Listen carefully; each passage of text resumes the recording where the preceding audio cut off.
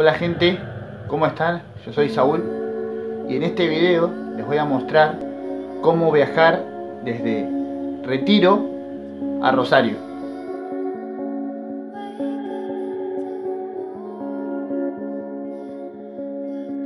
Tenemos que tener en cuenta que podemos comprar los pasajes desde las boleterías o ingresando a trenesargentinos.gov.ar y comprarlos desde ahí.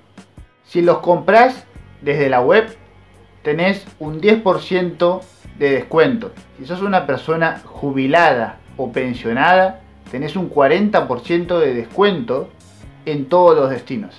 Que los menores de 3 a 12 años también tienen descuento y que las personas con discapacidad tienen el derecho a viajar gratis, pero deben presentar el DNI y el certificado de discapacidad vigente. Además, estas personas también tienen derecho a llevar un acompañante si el certificado lo indica. El tren pasa por Rosario Sur y finaliza el recorrido en Rosario Norte.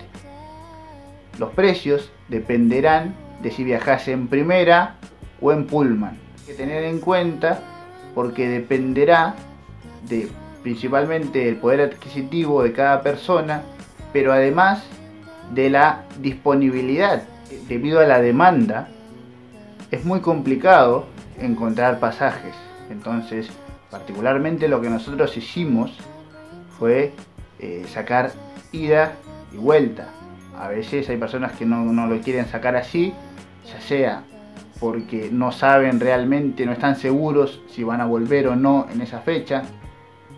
Otra circunstancia puede ser que tal vez no sepan, que, consideren que como es el viaje eh, en, tren, entonces van a conseguir fácilmente eh, pasajes.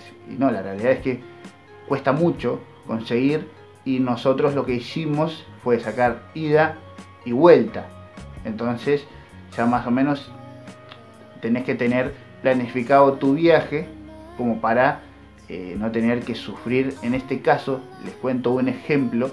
Cuando nosotros estábamos por volver a Buenos Aires, eh, una pareja se acercó a la boletería en Rosario Norte, eh, desesperados a pedir que les dejaran volver, ¿no? que les vendieran dos pasajes a, a retiro y bueno, la persona que se encontraba ahí trabajando les dijo que no tenían más, que no, no habían. Y ellos, bueno, explicaron que no habían sacado antes porque no sabían que no iban a encontrar, pensaron que era más simple conseguir. Y la realidad es que es muy complicado, ¿no? Tenés que estar muy atento a las fechas, a los horarios. Una de las cosas que también le puedo recomendar, además de sacar ida y vuelta, es que estén un tiempo antes eh, en la estación para que puedan eh, salir con más tranquilidad porque realmente a veces uno se confía y los trenes generalmente son muy puntuales para salir entonces traten de llegar antes y de estar ahí para poder estar tranquilos y subir eh, al tren con tranquilidad y poder viajar normalmente. Los precios, si viajan en primera, son a Rosario Sur 280 y a Rosario Norte 300. Y si viajan en Pullman, los precios son 340 eh, hasta Rosario Sur y 360 hasta Rosario Norte. Otra cosa muy importante es que ustedes solamente pueden viajar con el pasaje ya adquirido de forma anticipada. Es decir, ya sea por boletería o vía web, en este caso entrando a trenes argentinos. No, se, no te venden pasajes eh, a bordo del tren, entonces eso es algo que uno tiene que tener eh, en claro para no llevarse sorpresas como las que le conté de esta pareja. Los trenes, tanto desde Retiro a Rosario como desde Rosario a Retiro, salen todos los días. Los horarios son desde Retiro a Rosario Norte, sale a las 16 y 45 y llega a Rosario Norte a las 23 horas. Y desde Rosario Norte a Retiro sale desde las 0040 y estaría llegando a las 06 y 55. Viaje que nosotros realizamos hace ya eh, una semana desde que estoy subiendo este video. Nos pasó que eh, llegamos 3 eh, y o 4 horas, en realidad 4 horas después de la hora pactada. Tendríamos que haber llegado a las 11, a las 23 horas y llegamos a las 03 ya de lo que era la madrugada del otro día. Entonces, en vez de tardarnos 6 horas y cuarto, como duraría un viaje normal, promedio, tardamos 10 horas. Pero en este caso particular tuvimos problemas con el coche y además este, o sea, tardaron mucho tiempo en poder solucionarlo y lamentablemente terminamos llegando después del horario pactado.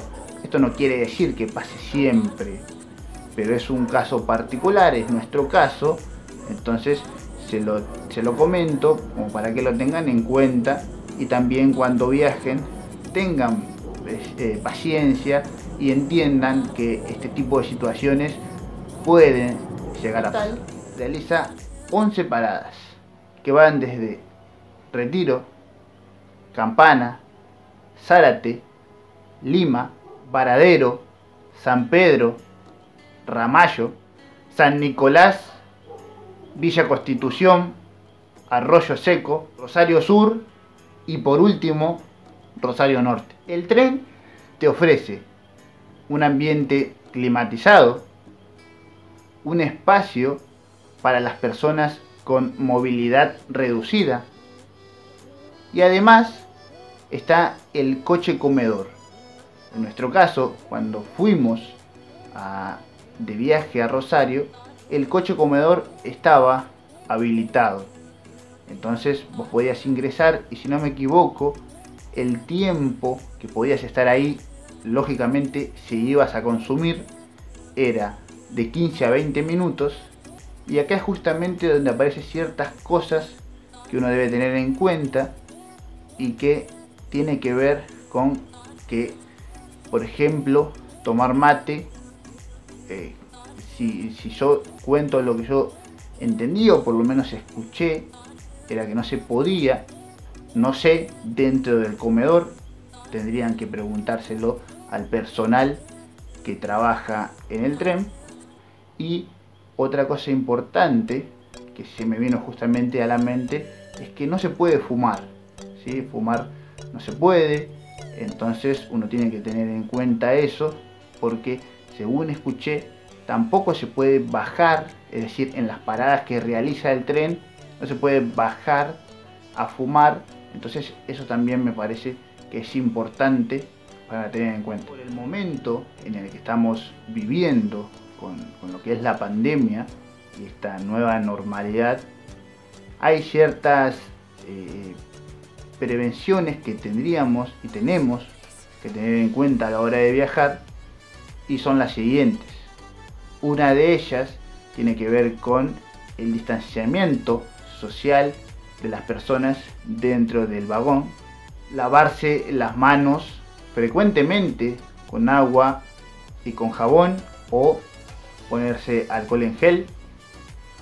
Otra de las prevenciones que uno tiene que tener en cuenta es no llevarse las manos a los ojos ni, ni la boca, estornudar y toser en el pliegue del codo y lo que sería el último eh, de, las, de las precauciones que deberíamos tener es el uso del tapabocas, ¿sí? que debe cubrir tanto desde la nariz, la boca hasta el mentón y es obligatorio su uso durante todo el transcurso del viaje. ¿sí? En mi caso, cuando, bueno, en nuestro caso, porque viajé junto con mi papá, en nuestro caso eh, vimos pasar muchas veces a las personas que trabajan en el tren y pedían que por favor lo utilizaran, Si no es como, bueno, voy, me siento y una vez que me senté, eh, ya está, me lo puedo sacar y listo. Entonces te piden que lo utilices durante todo el viaje y esto es importante porque a veces no le damos mucha importancia a esto, simplemente decidimos eh, sacárnoslo y quizás después eh, nos van a pedir que nos volvamos a poner. Entren a la página de trenes argentinos, que vean toda la información, que también tengan en cuenta que las fechas y horarios este, de los días que salen los trenes van a ir cambiando porque se acerca una temporada de verano, entonces hay que tener en cuenta eso y bueno, y todo lo que le conté en el video, ¿no? Así que ese es el final, no tengo más para decir, así que chao, nos vemos en la próxima.